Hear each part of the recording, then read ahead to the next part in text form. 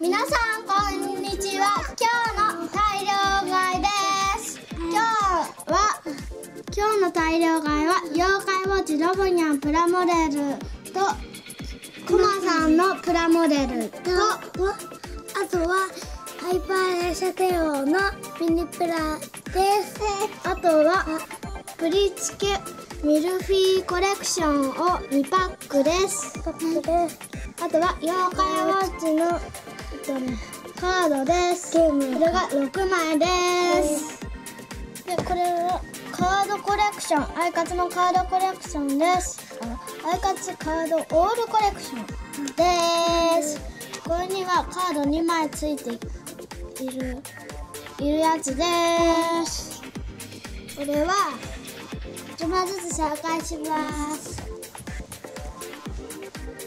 これで今日の大量買いを終わります。See you goodbye. チャンネル登録よろしくね。バイバイ。